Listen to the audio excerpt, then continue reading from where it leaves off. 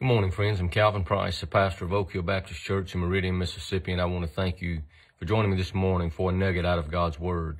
This morning we'll take our text out of Exodus chapter 15 and verse 1. And this particular verse is a verse of victory. And uh, when we look at this, it says, Then Moses and the children of Israel sang this song uh, to the Lord and spoke, saying, and they followed that with words in a song. It was a song of victory. And the reason it was a song of victory, they had been delivered from Egypt, but they were at the Red Sea. They had been delivered from the hand of Pharaoh's army. And God used the waters to close up and, dis- and destroy Pharaoh's army. And immediately after that, it was a time to stop and reflect and remember and implant that and embed that in their minds. When we think about music, uh, music has a way, uh, an important way of, of uh, impacting our lives. Music can transport you, a song can transport you to a specific place or time in your past. Sometimes uh, there are times and, and events that we're excited to remember. Sometimes they bring a smile and then laughter, and other times these songs may bring tears. Uh, there are songs that, that can take us and transport us to uh, events and things that have happened, uh, both good and bad. But yet they are embedded in our minds and they stir our emotions. Well, immediately coming out of this this uh, situation with uh, the, the army of Pharaoh and the victory of God, God didn't want them, Moses didn't want them to focus on the uh, how close they were to death. He wanted them to focus on the victory that he provided for them. And so Moses established a new song for them, a song that they would sing for years to come. And every time they would sing this song, it would transport them back to the time to remind them of the victory that God had given them over the army of Pharaoh by parting the Red Sea it would be a song that was very important to them. And there would be times that we sing songs or they would sing the song and it would need to they would need to to remind them of the victory of God.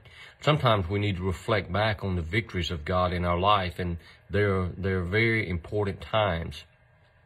And when we think about a song, when we think about this particular song or a song, sometimes when we're when we're at our worst, when we're uh, experiencing the worst that life has to offer, a song has a way of delivering you from that and reminding you that there's hope. One such song that has had an impact on my life for years and probably one of the most noted hymns of all times is Amazing Grace.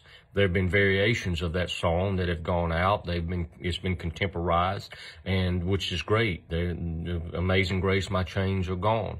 It reminds us of what God has done for us in life. When we feel like uh, we can't go on, when we feel overwhelmed by the world, I think about God's amazing grace that saved a wretch like me. That grace is so amazing. And it gets my mind off of the situation, off of the problem I face, and reminds me of the victory that I've already won in Christ. It may be today that you need a song, that you need a new song, maybe a song that will not transport you to uh, feelings that are painful, but a song that will transport you uh, to remind you of the victories that God has brought into your life today.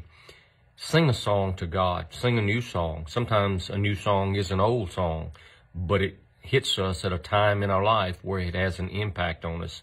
And the whole concept of the song is to remind us that God is the focus and He is more powerful than anything we face.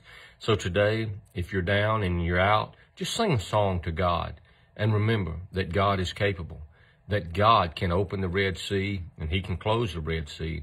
And God didn't give them a song uh, for Pharaoh. He gave them a song for his victory. And Moses led them in that song. They had a new song. So today, sing a song to God and let your spirit move forward. Please know this today, my friends. The Lord Jesus loves you and I love you too.